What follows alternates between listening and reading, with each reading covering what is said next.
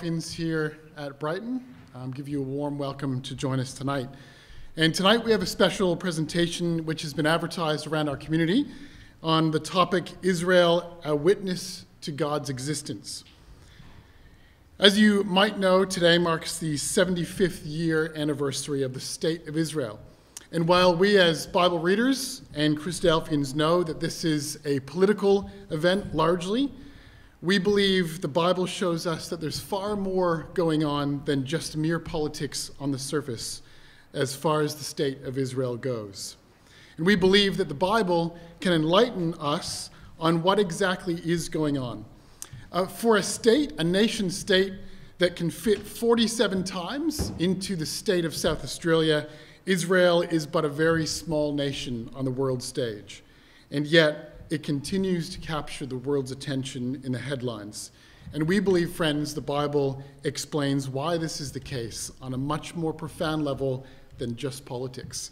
So we warmly invite you to listen with interest tonight as our visiting friend, Mr. Greg Horwood, presents uh, to us on this fantastic topic. So we're going to um, ask you to rise tonight as we start with prayer, um, and we'll do that now.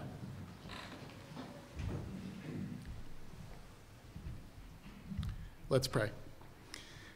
Dear God, our Father, we come in prayer tonight around your word, the Bible, in light of recent news of the existence of the nation of Israel.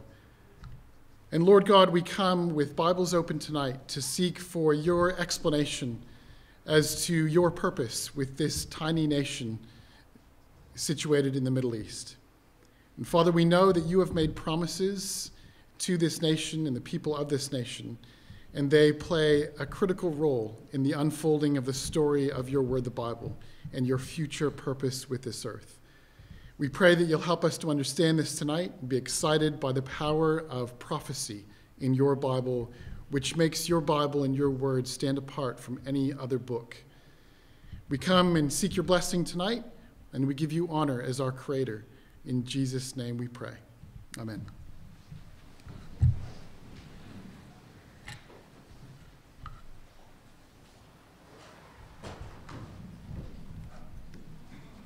All right, again, uh, a very warm welcome. Our topic tonight is Israel, a witness to God's existence, and that's going to be presented by Mr. Greg Horwood. To introduce this theme, we're going to read from part of a chapter of the Bible, the prophet Isaiah, and that's going to be taken from Isaiah 43. We're going to read the first 13 verses, and Dan Maluga will read that for us. Isaiah 43, verses 1 to 13. Thanks, Dan.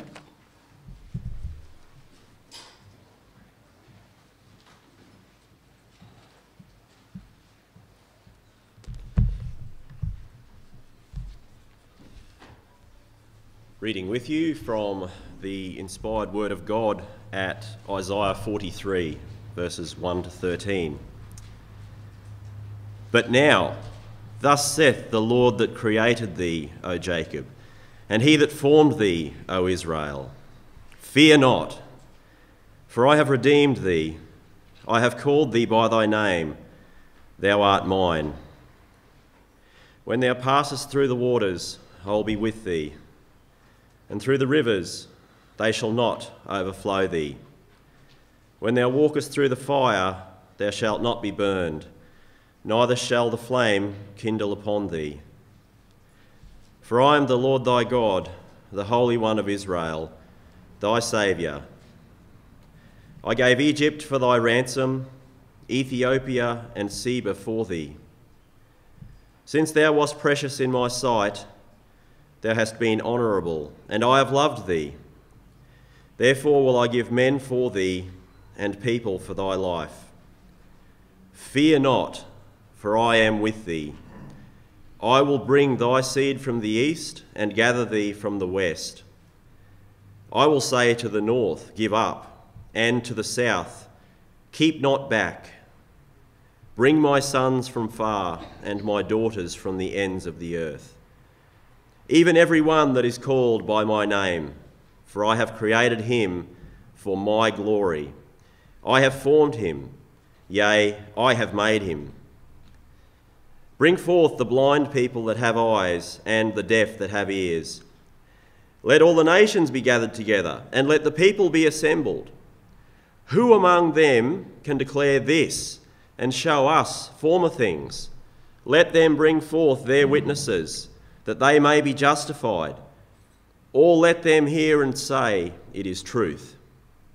You are my witnesses, saith the Lord, and my servant, whom I have chosen, that you may know and believe me, and understand that I am He. Before me there was no God formed, neither shall there be after me. I, even I, am the Lord, and beside me there is no Saviour. I have declared and I have saved, and I have showed when there was no strange God among you. Therefore, ye are my witnesses, saith the Lord, that I am God. Yea, before the day, before the day was, I am He, and there is none that can deliver out of my hand. I will work, and who shall let it?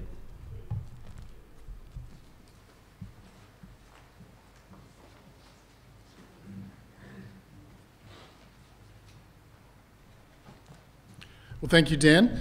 With that uh, introduction from the prophet Isaiah, we'll ask Mr. Greg Horwood to present on Israel, a witness to God's existence.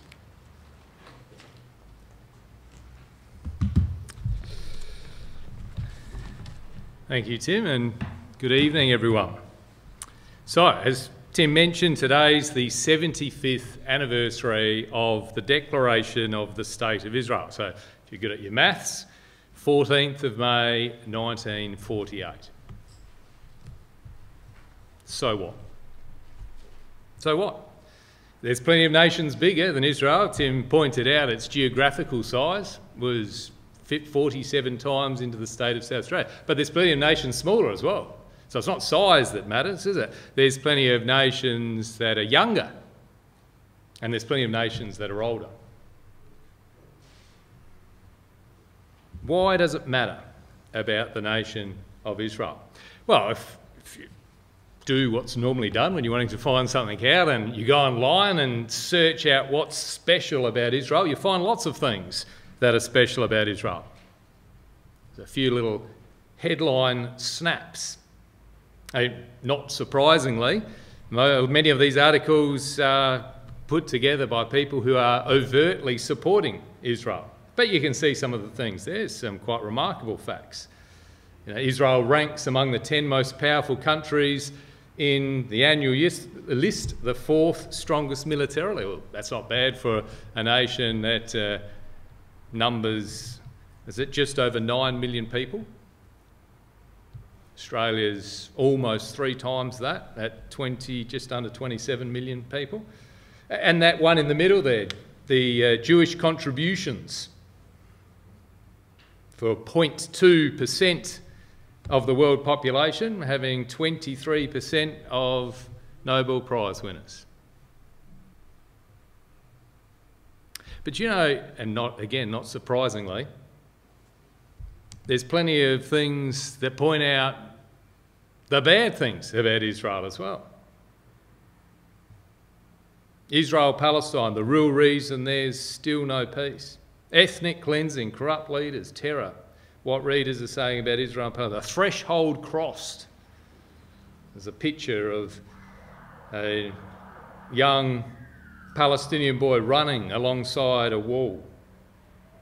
Apartheid and persecution. So, so if we sort of turn to mankind, shall we say, and say, well, well, what's special about Israel and things? Sure, there's, there's a few peculiarities, a few distinguishing features that perhaps set this, this small nation apart.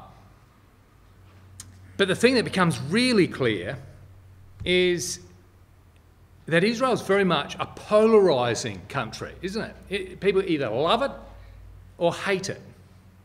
And it's been that way for really all time. It's been that way with the Jews. There's, and there's something strange about this. Most most of the world's population don't actually feel that strongly about other countries. You, know, you think about the emotions associated with other countries who, incidentally, had independence around about the same time as Israel. So I had a bit of a look, came up with some countries. I didn't know them off the top of my head. Barbados. Anyone feel strongly about Barbados? Like it or hate it? Botswana, Cyprus, Ghana, even Timor Leste, which is probably closer to Australia, and some of us in the audience can remember it going through its, its period of time, even that has limited emotional appeal for people. Yeah, sure, if you live there, then you've got a, you've got a sense of, of belonging. If you're served there with the armed forces, then you'd probably feel even more strongly about it again. But for the bulk of people, they just don't have an opinion. But not so the Jews. Yeah, it doesn't matter what time we go through, they've been extremely strong feelings, particularly of antagonism in most cases, but particularly strong feelings for or against. And here's, here's a couple of examples. This, the first one there, terrible picture. I don't know if there's any German reading people here in the audience, but um, you can see here, this was during the period of the Nazis in, in Germany, World, World War II, and just slightly before. Here they've put together, for the uh, edification, no doubt, of the watchers, a documentary about the Jews. Documentary. So the German position is pretty clear, and we know, of course, the terrible events associated with the Holocaust, which we will touch on briefly later. But it's not just the Germans. We can start saying, oh, those, you know, dreadful Germans during World War II, but that was the Serbians. And the caption there, you don't know yet, dot, dot, dot, beware. And that shows, as you can probably see in the picture, this stereotypical Jewish evil creature with a rope and a noose on the rope, sort of strangling all the poor citizens of Serbia who had to be aware of it. And, oh, okay, well, maybe it's just those countries, but it's not. It goes on. The French. There's a magazine, they had the Awakening of the People magazine. And again, the. Uh, the caption there, the real enemies of France. And the picture shows the, you know, the handsome, sort of clean living French young man who's, who's holding at bay this evil finance focused Jew. You can see there on uh, you know, the Star of David and, and pound signs and other you know, Masonic lodge, all the, all the oof, things we need to be careful of, so the French people thought. And then, of course, this, this last one is from Czechoslovakia. Someone actually makes up a, a mantelpiece decoration that shows three Jewish people like pigs. Caricature of pigs. Uh, it's dreadful. It's absolutely dreadful. And people take that, I assume, and put it on their mantelpiece alongside the porcelain ducks and whatever else that they had there and, and look at it as they're having their breakfast in the morning and, and somehow think that's okay.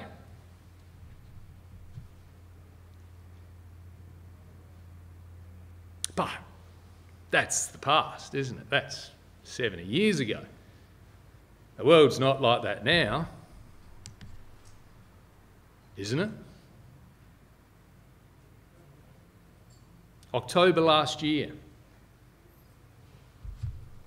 this creature, who I had to get some assistance with the pronunciation, who I believe his name is Kanye, Kanye, Kanye, something, Kanye West, apparently tweeted a thing that says, going DEFCON 3 on Jewish people. Well, I can't say I'm exactly up to scratch with what that means, but I gather what it means is effectively death to Jewish people. And this, this guy apparently is a well known singer of some sort. And in October 2022, 8th of October 2022, all within our lifetimes, that's what he said. And you say, oh, he's just crazy, you know, he's out on his own. No, look, what are they doing? The Nazi salute on a bridge in America with a sign that says Kanye is right about the Jews. In other words, kill the Jews. That's, that's now. And there's plenty more. And you have to look through, and frankly, it makes staggering reading. Staggering. People that, that refuse to accept that the, that the Holocaust even occurred despite the you know, photographic evidence and, and the fact that there's still some people alive today who physically saw with their eyes the outcomes of the atrocities at that point in time. But what about the Christadelphians? What about the Christadelphians? What's our political alignment? And Tim touched a bit on this in his opening marks, eh, remarks. What's our political allegiance with the state of Israel? Again, as Tim said, we're not a political body. As a community, we don't even engage in local politics, let alone international politics as well. So you'd say, well, oh, okay, that's fine, but why are you holding then a special lecture to commemorate the 75th anniversary of the establishment of the nation of Israel? Well, it's because, it's because we are Bible students. And it is impossible, it is impossible to read in any way, shape, or form any of the Bible without coming to the absolutely inevitable conclusion that the Jews and the land of Israel feature prominently in God's interaction with mankind and his revealed purpose. You, you, can't read the Bible without seeing the Jews and Israel as a, as a key cornerstone, a foundation point that features from the earliest parts of the Bible, literally Genesis, right through to Revelation. And so our purpose tonight is to try and piece all of that together. So we're not interested, again, reinforcing what Tim said, we're not interested in the political, side. let me rephrase that. We're interested in it, but we don't engage in the political side of it. That happens.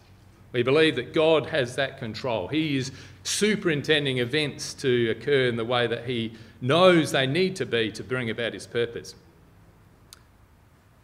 But our interest is understanding what that purpose is and how the existence of Israel plays a part in that. And then ultimately, ultimately, what does it mean for us?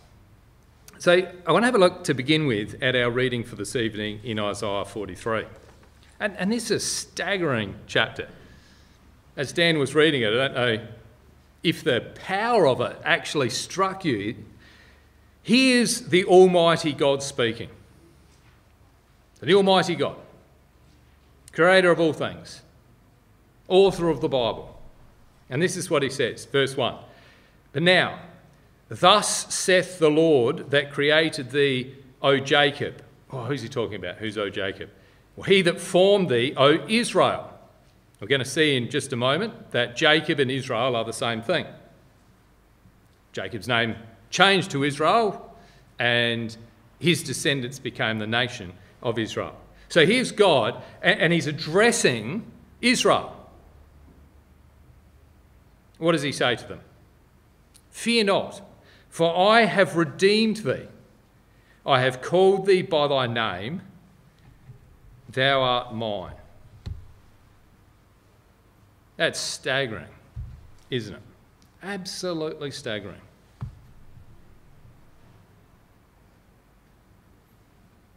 But God goes on. He doesn't just leave it at that point in time. He doesn't just sort of put it out there that this, this nation of Israel insignificant. And sure, their significance has ch- changed down throughout history, which, uh, again, we might touch on some of those things this evening. But, but at the end of the day, still relatively few in number. It's not just the fact that they are his, that they belong to him. There's even something more staggering about it. He says, as, as you can sort of continue on there, I've, I've put a bit of a summary there on the screen, precede some of the verses. God's with them. He's going to bring their seed from the east, gather thee from the west. Now that's interesting, isn't it? That's interesting. So somehow, in this message that God's talking about for Israel, the regathering of Israel is an important part. Can you see that? It's not just saying that the first verse, in a sense, could apply to anybody. I've redeemed you, you're mine. But I'm with you, says God, and, I'm going to do something that involves regathering from the east, gathering from the west. I'll say to the north, give up, to the south, keep not back. Bring my sons from far and my daughters from the ends of the earth. Well, well that clearly, that clearly is saying, whatever else we know about Israel, we've got a lot to learn yet this evening, that whatever God's involvement with them is, somehow the idea of them being scattered and then having to be returned again is part of that, isn't it? Shouldn't necessarily be surprised by that. It's written in. God makes it almost fundamental to the existence that He has with them. Why is that? Because, he goes on to say, even everyone that is called by my name. For I've created him for my glory. I've formed him. I've made him. So, whatever God's trying to achieve, he's doing it through Israel. And then he goes on to say, perhaps the most staggering thing of all. Look at verse 10 of Isaiah 43.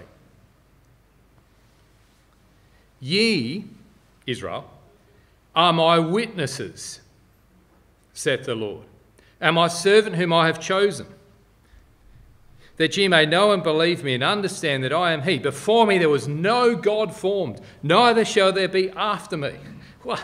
So it's almost like God's on trial, isn't it? You can imagine a, a trial scene in a court somewhere. And, and it's about, well, well, who's God? Who is the God? That's the bit that's going through the court. And you can imagine a court scene, you know, people bring up various witnesses. Where were you on the night of, etc.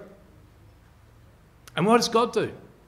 Who does God bring forth as the witness? Israel. See that? You're my witnesses. You, Israel, are my witnesses that I am He. And he goes on to reinforce that point. I, verse 11, even I am the Lord. Beside me there is no Saviour. I've declared, I've saved, I've showed when there was no strange God among you. Therefore, ye are my witnesses, saith the Lord, that I am God. So God's very existence and his power is tied up in this nation of Israel. Remarkable. Absolutely remarkable. So that section from Isaiah 43 shows us a few things, doesn't it? It, it points to the very fact that Israel is the proof of God's existence. Does God exist? Look at Israel, says God. That's the proof I use, says God, Israel, my witnesses. That's a pretty important point. Tied up in that is the fact that Israel would be regathered. So, part of that witness, part of that proof, part of the evidence that God is going to bring for the very fact of his existence is associated with the fact that Israel would be gathered, regathered, and brought back. And God would be their Saviour. The end of verse 11. He is the Saviour. Beside me, there is no Saviour.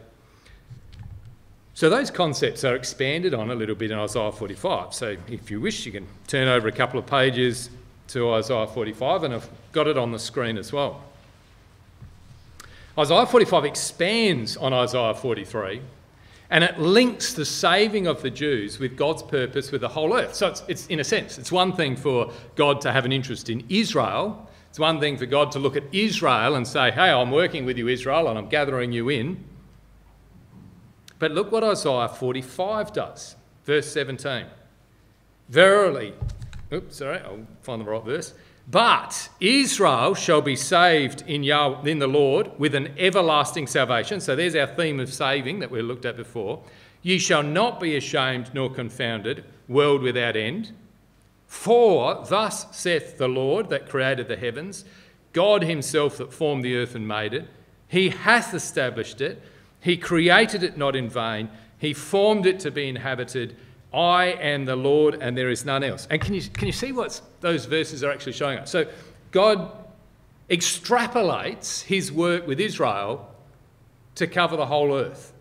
So he does that. So just like I'm working with Israel, he says, so his purpose with the whole earth comes to pass. And you can see that, that extrapolation from Israel to a larger whole of earth perspective in that. And these are interesting things, aren't they? They suddenly open up a whole lot more interest and detail and, and a need for us to actually sort of uncover and, and decipher this message that's related to Israel for our own sake of understanding what hope there is so far as God's saving of the whole earth is concerned, forming it to be inhabited, creating it not in vain. Now, if you're sitting there with a slightly sceptical mind, you might be thinking to yourself, it's all very well, but this is the Old Testament, and we all know that the Old Testament is thousands of years before, and you know, we've moved on since then. Jesus came. These things don't apply, we might think, but we would be wrong. We'd be wrong.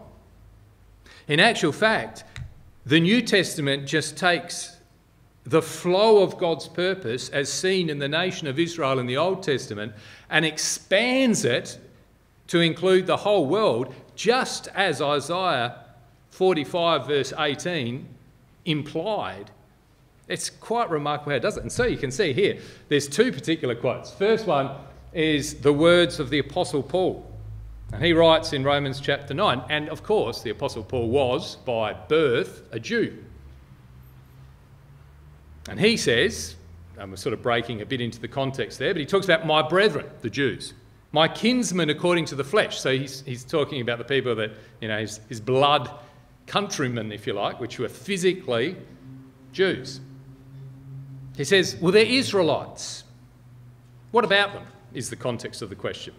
They're Israelites to whom pertaineth the adoption, and the glory, and the covenants, and the giving of the law, and the service of God, and the promises, whose are the fathers, and of whom, as concerning the flesh, Christ came, who is over all, God blessed forever.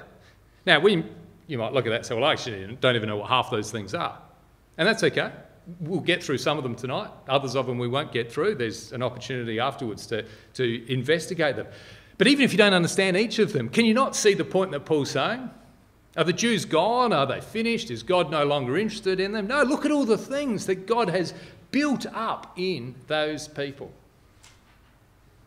adoption as his children, the glory, which is the purpose that he has with them, the covenants we're going to touch on at least one of those covenants in a moment. Promises that God has made. Promises. The Almighty God has made promises. The law which they received. Opportunity to serve God. And of course, as he says, you know, is there anything special about the Jews? Well, let's not forget, Jesus Christ, according to the flesh, was a Jew, who is, of course, God blessed forever. So, so far as the Apostle Paul's concerned, is, is God finished with the Jews? By no means. There's an opportunity that came with their rejection of Jesus Christ for non Jews to have a part in that great hope that God has with the world, but they still feature in this special place in terms of God's unravelling, his rolling out of his purpose with the earth. And now that's the Apostle Paul. We might say, well, perhaps he was uh, biased. Well, out of the quote on the screen from John 4, verse 22, are the words of none other than Jesus Christ himself. None other than Jesus Christ, the one who was crucified by the Jews, betrayed, crucified, humiliated, mocked. And he said, speaking to a woman from Samaria when they're at a well, and he's, he's elevated the conversation around to a future hope and things. He turned to her and he said, Salvation is of the Jews. Not salvation was of the Jews, or once upon a time salvation was of the Jews. No, salvation is. Salvation is of the Jews. Somehow, somehow, whatever's involved in that Jewish nation is the foundation point for salvation to other people, including non Jews, such as that Samaritan woman that Jesus was speaking to in John chapter 4.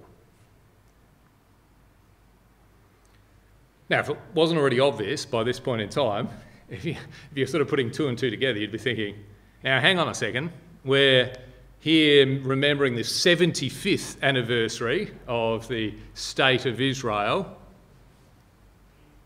and yet we've spent the whole time talking about events that occurred thousands of years ago. So clearly, Israel has existed a long time, a long time more, if I've got my English right, than 75 years ago.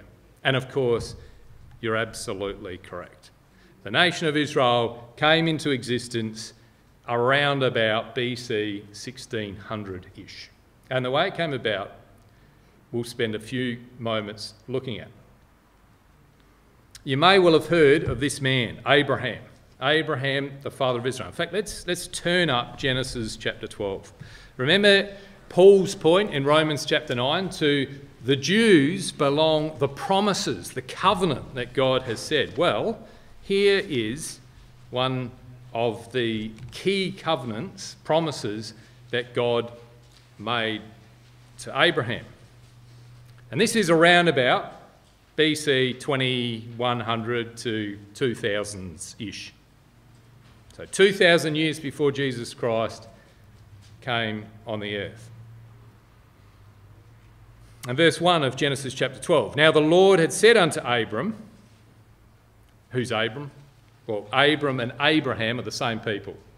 So Abram was born Abram, and then his name was changed to Abraham later on. So we will use it interchangeably for the purpose of tonight. Same person. Now the Lord had said unto Abram, Get thee out of thy country, and from thy kindred, and from thy father's house, unto a land that I will show thee. And I will make of thee a great nation, and I will bless thee, and make thy name great, and thou shalt be a blessing. And I will bless them that bless thee, and curse him that curseth thee, and in thee shall all families of the earth be blessed. Oh, it's a strange kind of promise, isn't it? It's a strange kind of promise. It's strange for a number of reasons. See, when this promise was given, Abraham lived in a place called Ur. And God appears to him, as revealed here through an angel, no doubt, and gives him this promise. But if you're reading it carefully, you'd notice that God doesn't actually say what land Abram would get, does he? He just says, a land that I will show thee. It's a bit like, you know, someone saying, Tim, um, you know, I'll, I'll give you a great opportunity to get a property. Leave here and you'll get a property. What's the first question Tim's going to say? Where? I want to know about this property. But God doesn't tell him, does he? He, and in fact, we know from Hebrews chapter 11 that this becomes the hallmark, the hallmark, the, the foundation stone of Abraham's greatness, his faith. He gets a message from God and he believes in God so much that he acts on that message, even though every single sort of, if we're like normal, self focused human being would want to know the details. Abraham says, Well, if that's the message that comes from God, I'm going to do it. And he did.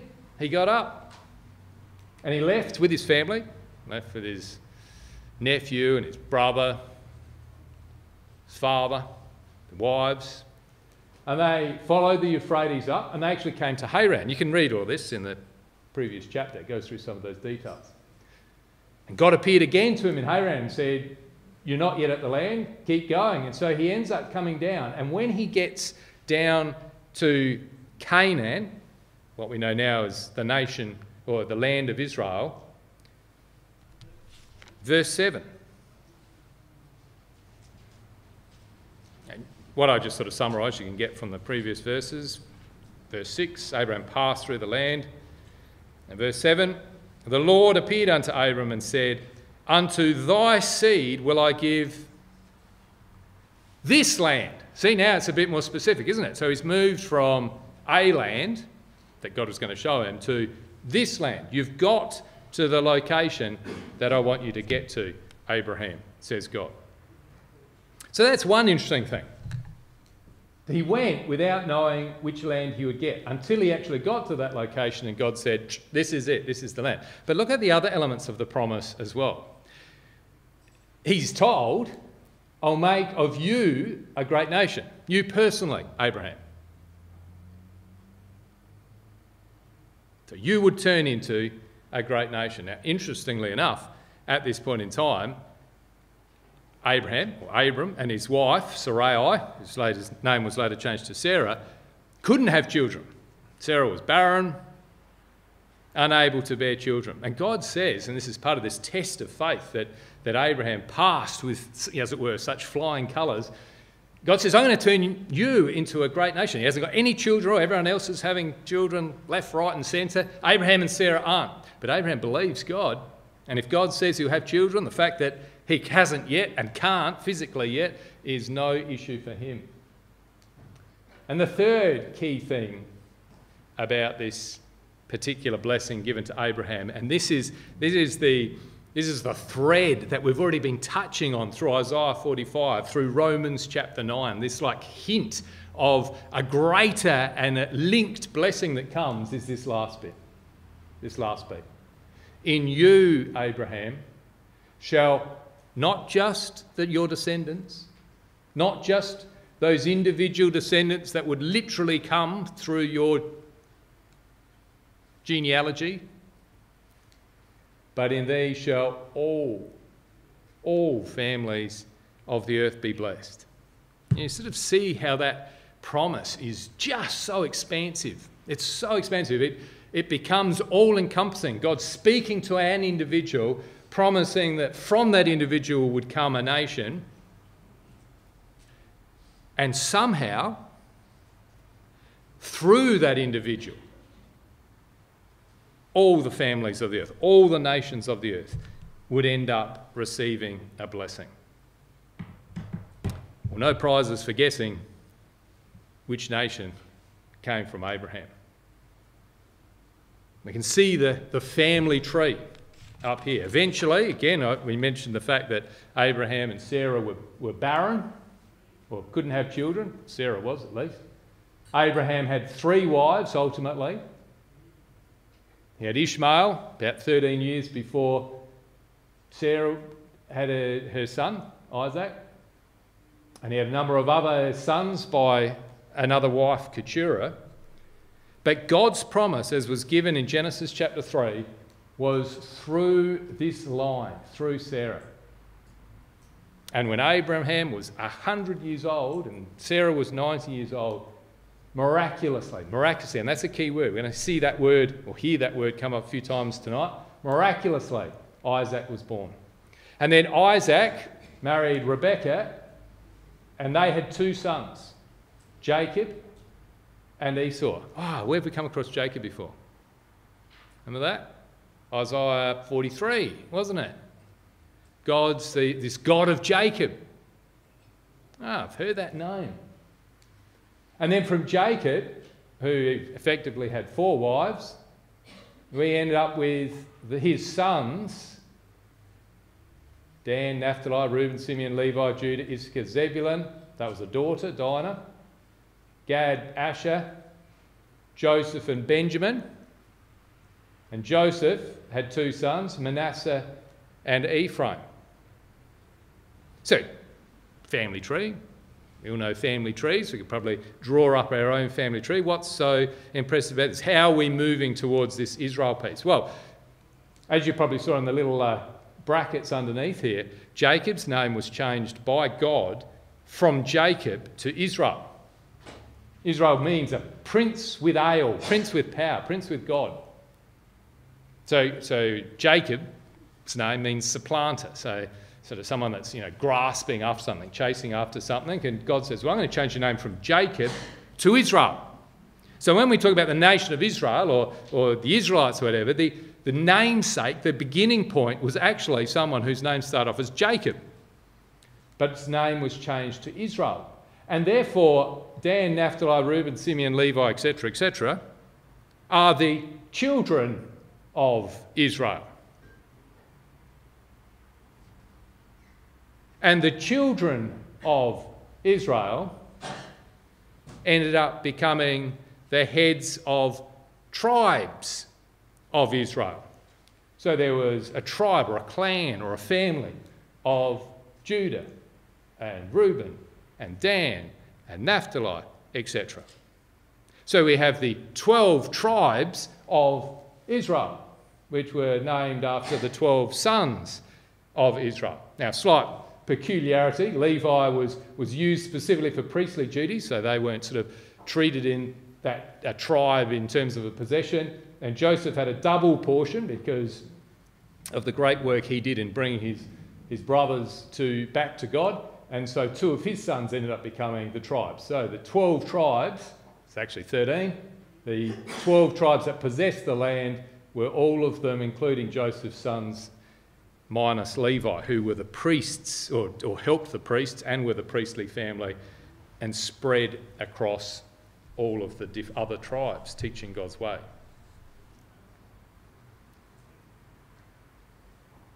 So, Israel was the name of Jacob. The children of Israel were Jacob's children.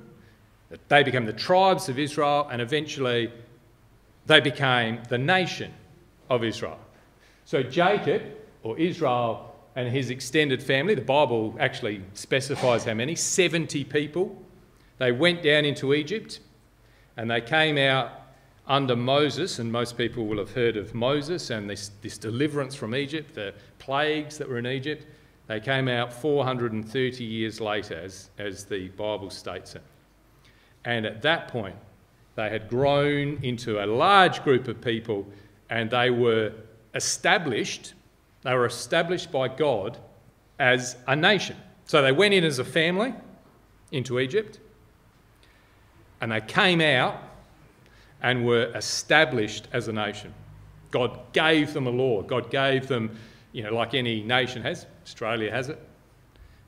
Ours is probably all based on the old mother country of England, but you know, constitution and laws and processes, we have it. You can only do 60 kilometres an hour out there or 50 or something. All those laws that you, you can and can't do. Well, God did the same for, for Israel.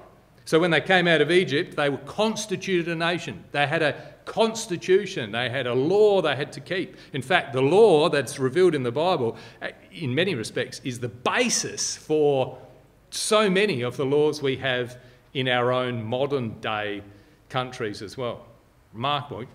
You probably didn't see it, but you know, that very second slide, I think it was, which talked about all the amazing things about Israel. One of them, sort of hidden away, was that from Israel came the basis for government of most countries. Now, it's true. It's true. You can look at the law that was given, the constitution that was given, how people were to be treated. It was so much ahead of its time. And so many of those principles, sort of excluding the religious ones, but so many of the, the general principles of, of good governance that are contained in that law carry through to the countries of the world which generally have good governance. So is that sort of clear to see it? Abraham's promise that from him would come a nation. He has a son Isaac, who has a son called Jacob, whose name is changed to Israel. He has 12 sons, the 12 sons of Israel, children of Israel. They become the head of tribes. So now you've got the children of Israel, the tribes of Israel, who ultimately become the nation of Israel. And all of that sort of came into place around about 1600 um, BC. And, and God made it clear that his relationship to them as a nation was a special one. Excuse me. There's a quote there from Exodus 19. So this is, this is fairly early on in that, that constitution as a nation time frame. If you obey, obey my voice, keep my covenant, then you shall be a special treasure unto me above all people. You shall be unto me a kingdom of priests and a holy nation. But not all went well. There's lots of things we could look at, but Psalm 106 captures it sufficiently. They didn't do what God said. They were taken into a land, told to destroy the nations that were there, who, who were engaged in practices and processes and, and activities that were so abhorrent to God's way, burning their children in the fire, for example. But they didn't do what they were told to do. They mingled amongst them, they learned their works, they served their idols, which became a snare unto them, as God had said it would do. And so, throughout the whole history of Israel, there's been repeated history of disobedience and prophesied consequence. Now, that sort of makes sense, doesn't it? Because remember back to Isaiah 43. One of the key things that God spoke about in Isaiah 43 was Him regathering, regathering them back from the east, from the west, from the north, from the south. I'll regather you. So God is continually reinforcing the fact He works with them. He works with them, bringing them back. But they're only scattered because God knew that they'd be scattered. And if you come, we won't, from a timing point of view, turn this up. I've just got the examples up on the screen here. So you're welcome to turn up Deuteronomy 28 if you want. It's a very, very long chapter.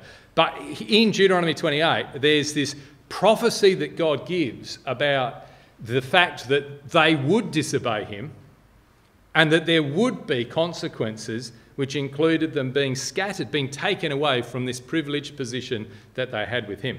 So you can see here, here's, here's the sort of, if you like, the conditional statement, isn't it? If thou wilt not hearken unto the voice of the Lord thy God, all these curses shall come upon thee and overtake thee. And, and Deuteronomy 28 describes all these terrible things.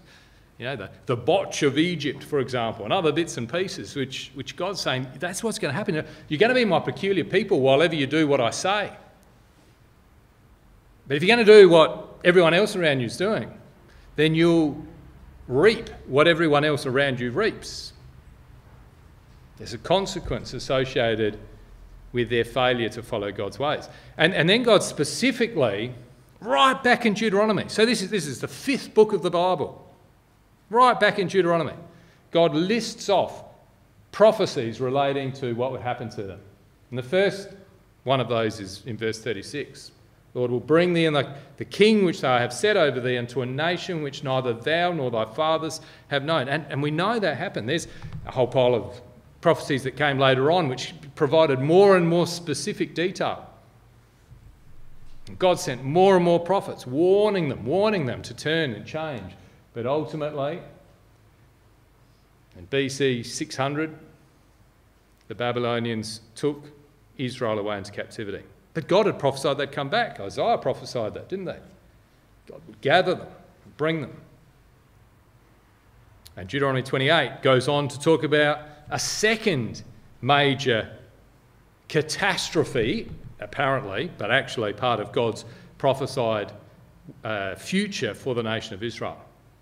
The Lord would bring against them a nation from far, from the end of the earth, swift as the eagle flieth, a nation whose tongue thou shalt not understand, a nation of fierce countenance, which shall not regard the person of the old, nor show favour to the young. And again, that happened.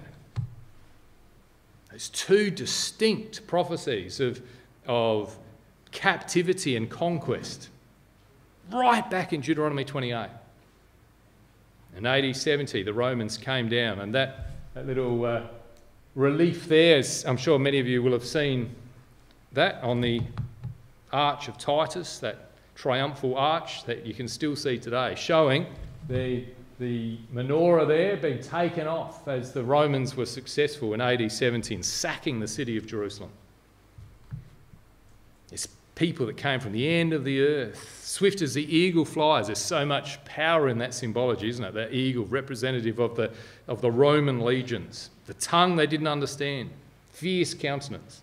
And one can read contemporary historical accounts of those events that happened there and see to some extent just how terrible and how terrible the events were, but how accurate these words were. Not regard the person of the old, nor show favour to the young. And, and the descriptions of the destruction of Jerusalem that happened with the streets literally running in blood. And God had prophesied that before. He knows the end from the beginning. Yeah, the regathering of Israel was also prophesied in Ezekiel 37. And I've just got the key verses up there. And again, many of you will be familiar with it. The words of Ezekiel 37 have been turned into sort of song, popular song, uh, and, and a lot of people understand the concept. It's such a clear prophecy. Such a clear prophecy. Ezekiel goes out and he sees this valley and it's full of dry bones. Dry bones. There's no moisture in them, there's no life in them. Dry and hopeless. He prophesies God tells him to prophesy against them. The bones come together, bone to bone, all lining up in this great mixed up pile of bones, and they start to form these skeletons. And then, as he looks, he sees the ligaments coming upon them, and then the skin coming upon them. And all of a sudden, I mean, it'd be a pretty, pretty sort of freaky view, wouldn't it, if you were seeing this vision, you seeing uh, stuff of sci fi type things. And all of a sudden, now you've got these bodies, lifeless bodies lying there. It's an army, it's an army of people. And then Ezekiel's told to breathe, to prophesy again, and the, and the Spirit of God comes and goes into these lifeless bodies that have been built up from these dry bones with no hope. And it's a prophecy of what God's going to do with Israel. I will take the children of Israel from among the heathen, whither they be gone, and will gather them on every side. That's what Isaiah 43 said, wasn't it? And bring them into oh, their own land. What are we remembering again? 75 years since Israel was redeclared a nation in the land of Palestine, as it was known then, which happened to be, if you remember that map, the exact same spot that God said when Abraham came down from Haran, from Ur up to Haran, and then he came down and he got to that spot, and God said, Unto thy seed will I give this land, this land that you're standing on now. Amazing, isn't it? Bring them into their own land, not someone else's land, not, not somewhere in Africa or, or middle of Australia or somewhere, their own land. I will make them one nation in the land, upon the mountains of Israel. On the mountains of Israel. One king shall be king to them all. They shall be no more two nations, neither shall they be divided into two kingdoms any more at all. And what a, this powerful prophecy of Ezekiel 37. Powerful in so many ways, but, but not least of which is the fact that it's easy to understand. It interprets itself. God gives the explanation of the vision in Ezekiel 37.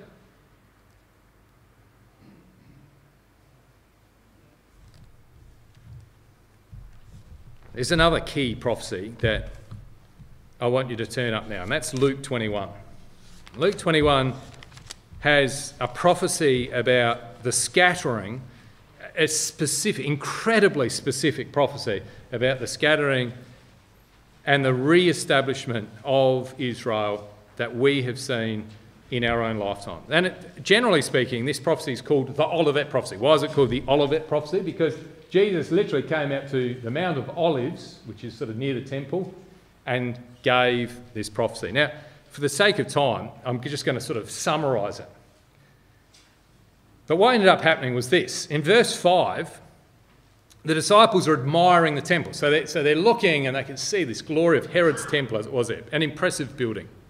There's a whole lot of work going on to uh, excavate it from an archaeological perspective. Now, and they're, they're admiring it. You see that. They, know, as some spake of the temple, how it was adorned with goodly stones and gifts. So there they are. Oh, wow, you see that? Yeah, oh, that looks great. Jesus throws a bomb in the middle of it, doesn't he? He says, verse 6 as for these things which ye behold, the days will come in the which there shall not be left one stone upon another that shall not be thrown down. So there they are admiring these stones, and Jesus said, Well, actually, they're all going to be destroyed. So, what would you do if you were a disciple listening to that? You'd want to know when, wouldn't you? And that's what they do. Verse 7. They asked him, saying, Master, But when shall these things be? And what sign will there be when these things shall come to pass? So, an obvious question.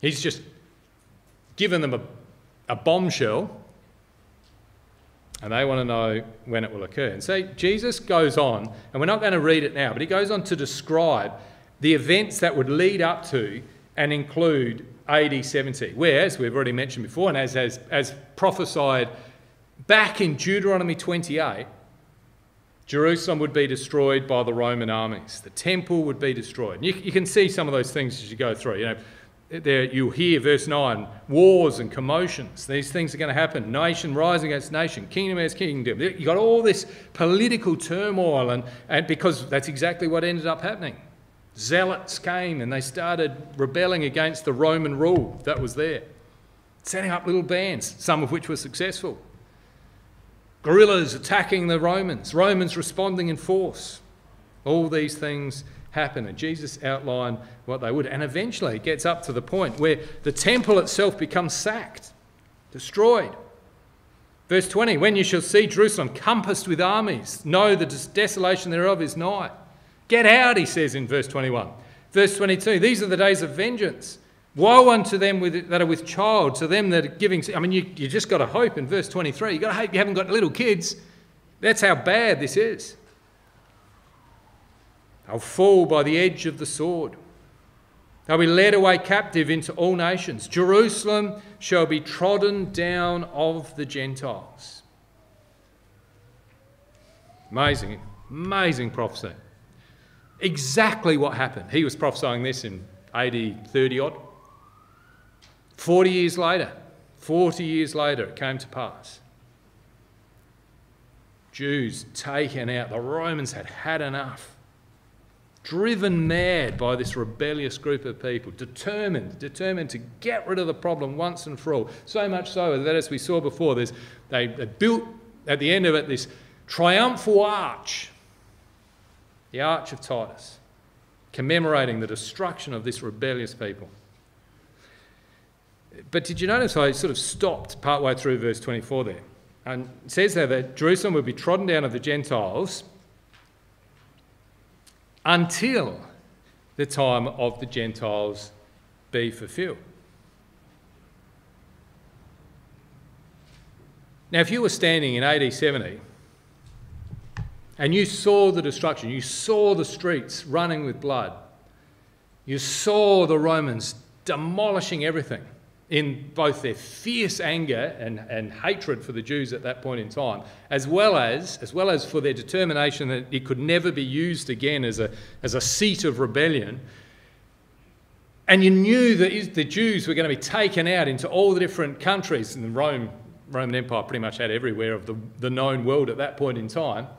And someone said to you, but good news, but good news, the Jews will be coming back there. You'd say, no chance. No chance. They're done. They're gone. But God says, Jesus says through God's word, they are coming back. There's going to be a time when the times of the Gentiles would be fulfilled. There's going to be a miraculous restoration of Israel. They're going to be in control again of Jerusalem. When the times of the Gentiles is fulfilled, by definition, that means the Jews are back in control. And then Jesus goes on in, in verse 25 and 26 to describe the global conditions from that period of time. And, and the beauty we have is we've got the benefit of hindsight. We can see the prophetic declarations actually coming to pass. And we know what happened. We know what happened. Against all odds. Against all odds. 1900 years after these events. And 1900 years. What people could retain their identity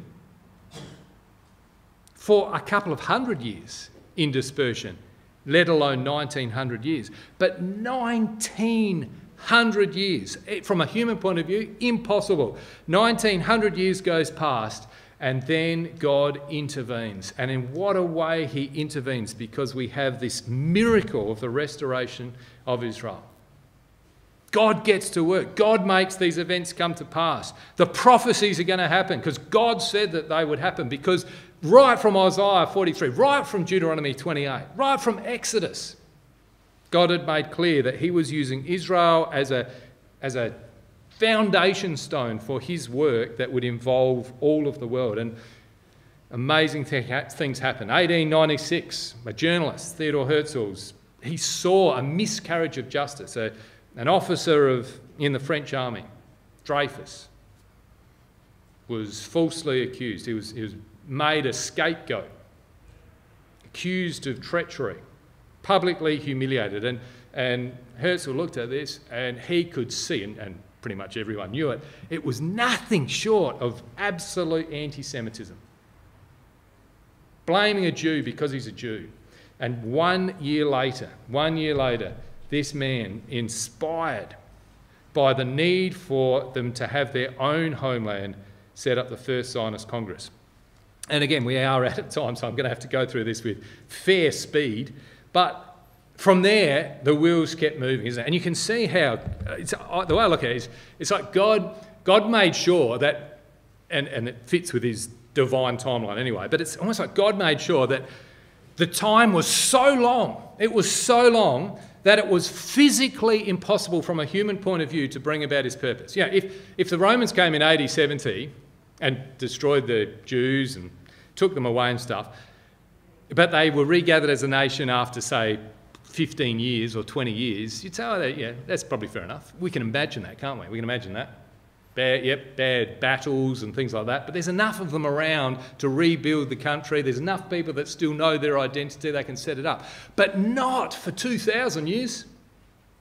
Not for the, the hope of, a, of regathering themselves in the land, the hope of going back to Jerusalem. That's long gone. That's long gone after 100 years let alone 2,000. But here now, it's the work of God, isn't it? And God's moving everywhere. He's moving with key people like Theodore Herzl. He's moving with governments. Governments. This is a classic. This chap, Allenby, 1917, December 1917, rides into Jerusalem. Well, actually, didn't ride in, he walked in, rode up to Jerusalem. The British taking over the control from the Turkish power. And there's a whole piece we haven't got time to look at, which is just staggering around, you know, why did, why did when it should have been successful, why was Gallipoli unsuccessful? Militarily, it was a good idea, it was a great idea. Come and strike them in the underbelly, destroy Turkey while she was still weak. Brilliant idea. It failed. And instead, Britain had to come up through the Middle East, up through the, the Turkish areas of, of what we know now as Israel. And they were remarkably successful. Why? Because God's angels are at work. They're bringing to pass this incredible fulfillment here. And, here there's a little uh, sort of reproduction of, of the letter, what's known as the Balfour Declaration. With this chap, Lord Balfour, helped to uh, put together that statement. His Majesty's government, British government, view with favour the establishment of a homeland for the Jews, or something like that, the establishment in Palestine of a national home for the Jewish people. Will use their best endeavours to facilitate the achievement of the said object. Brilliant, isn't it? That's the way you'd write letters back in those days. None of this uh, Twitter or whatever. Amazing stuff. God's at, at work. And so people started coming back. And then, of course, we know that things took a dark turn. And the Bible talks in Jeremiah about there being fishers, you know, fishing, you're sort of putting out the bait, and people, you know, fish respond. And then it talks about hunters. I will send for many hunters, and they shall hunt them. You're not fishing anymore, you're hunting. And we know the terrible atrocities associated with that. They became hunted and desperate, desperate for a homeland. You know, the, the, to some extent, I, I, use the word apathy, but some, it's totally understandable, isn't it? You know, you're giving away everything. Do you want to go to Israel? Sounds great. Yeah, but you, you give up your house and your job and your career and your investments and you've got to give up everything. Oh, no, I think I'll stay here. But not when you're being attacked. Not when your family's been taken off to the gas chambers and you've lost all your relatives. And so they came back in ships like this one. Probably heard of a ship called the Exodus, that one there. Overcrowded, desperate to get back. And of course, it was, it was the, the work of this evil conglomeration of, of the worst of mankind that paved the way through God's superintending of events to have a miracle. We've already seen how much the world's polarized by this, this people, the Jews. And yet, what a miracle. In, in 1947, the United Nations voted, they voted in favour with all the antipathy towards the Jews, that they have their own state. Amazing. And there's the picture of David Ben Gurion, who was the first Prime Minister announcing the state of Israel. And, and sure, it was challenging. There was uh, a challenging sort of shape. And immediately, literally, as, as the British left that mandate, their, their marching feet left and went onto their ships. So the guns started firing as they were attacked. This new state, brand new state, no infrastructure in place, or no official infrastructure in place, no standing army in place officially. None of that. All the, all the, the establishments of a, of a nation that is so critical had to fight a battle on every front by countries that were established. Incredible. I, I yeah. You know, again, without casting aspersions at uh, Timor Leste or East Timor, you look at how much support they had to have, and, and justifiably so, when they had their independence in our time. Australia sent troops over there, United Nations sent troops over there to do it because they couldn't survive by themselves. Well, Israel had no one coming to their aid. Not one country. Not one country. And it wasn't just, you know, a militant Indonesia that was, that was gazing over them. They were attacked on every side by their neighbours. From a human point of view, they were doomed. But they weren't because God was in control. And then we get to this incredible thing where to pick up the phrase, the times of the Gentiles are fulfilled, and talking about times being fulfilled, I see my time is definitely fulfilled as well. So I'll go through this fairly swiftly and we'll bring it to an end. So Jerusalem was trodden down of the Gentiles until this remarkable six day war that happened in 1967. And there's some pictures there of, of soldiers, and you may recognise that, the, the Western Wall or the Wailing Wall, as it's sometimes known, the, the, a foundation part of that Herod's temple that Jesus prophesied in Luke 21 would not be left standing. And he was absolutely right. That's just the, that's the retaining wall. It's not the temple, it's the retaining wall. Remarkable. So the conclusion you can only come to is that the words of Luke 21, verse 25 to 26, apply to people that have seen those events occur that have seen this. It's people like us, people that are, are living post the period of 1967 when Jerusalem's back in the hands of the Jews. And what's exciting about that? Well, it talks about things that to be happening. Verse 25, there'd be signs in the sun and in the moon and in the stars. Well, what's that talking about? Is that astrology? No, no. No. Goes on to explain it, doesn't it? Upon the earth, distress of nations with perplexity, the sea and the waves roaring, men's hearts failing them for fear. For looking after those things which are coming on the earth, the powers of heaven shall be shaken. You know, this is what it's talking about.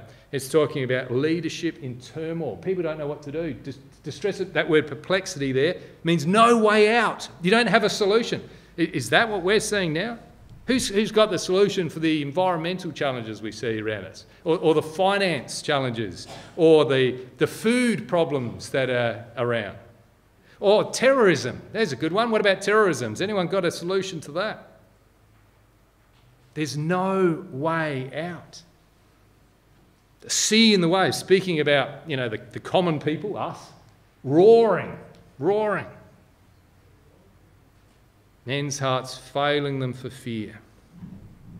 And what would happen then? This is the key point. This is the key point. Verse 27. And then, and then shall they see the Son of Man coming in a cloud with power and great glory. After 1967, at a time of turmoil and no way out, suddenly the Lord Jesus Christ will return back to the earth to redeem those who are looking for their kingdom. And again, we are out of time, but it talks about this parable of the fig tree, which represents Israel springing forth. And it says at that time, other nations will as well. And, and this little plot shows the growth of nations. This is the growth of nations. Looks at non democracies, and, and you can see just springing forth from, from that sort of period of the Second World War onwards exponential growth, exactly like our Lord prophesied. Remarkable. So, what does it mean for us? What does it mean for us? Last two slides.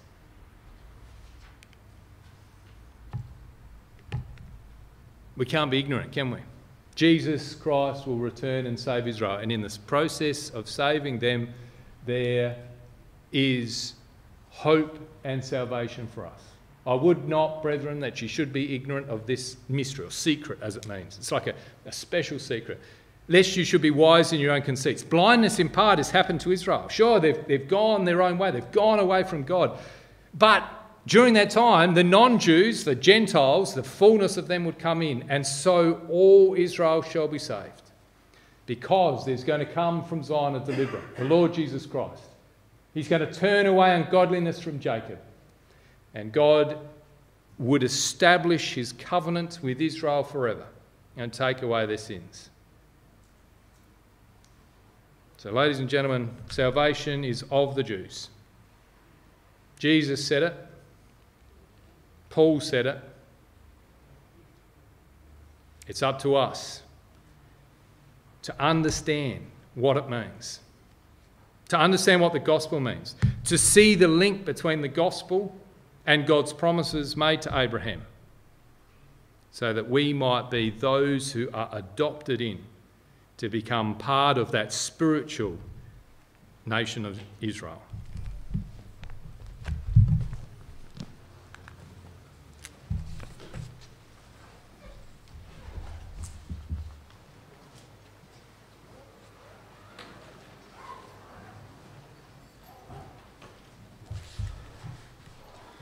Well, thank you, Greg. Um, you know, if you're wondering what are the reasons why the Christadelphians take the Bible seriously? It's nights like tonight um, that give us reason to do so. The veracity of what God has spoken in the past and the confidence that we have that those things will come to pass. And Israel, what God's spoken about Israel, as we've seen tonight, is one of those many proofs in Scripture that show us that the Bible is something that we can absolutely trust um, as the direct word of God to us today. So that's an exciting thing, and we've been able to see the miracle that we're still witnessing uh, today in our day, thousands of years after those words were spoken about Israel.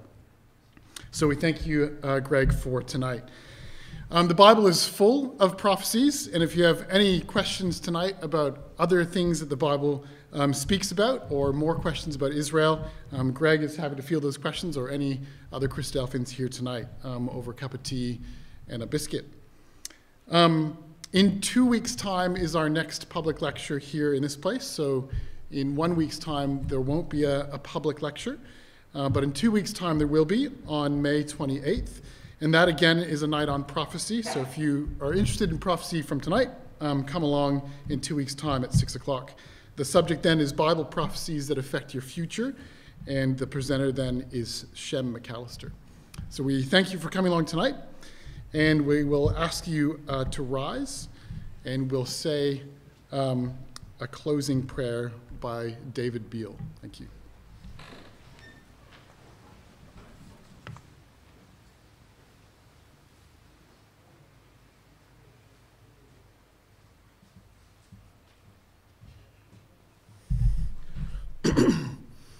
Almighty God, O thou who art from everlasting to everlasting, whose word shall never fail. We are thankful that thy word has been shown to us tonight to have been true and faithful to the nation of Israel. And we appreciate, O gracious Heavenly Father, that thy will shall be done on earth as it is done in heaven.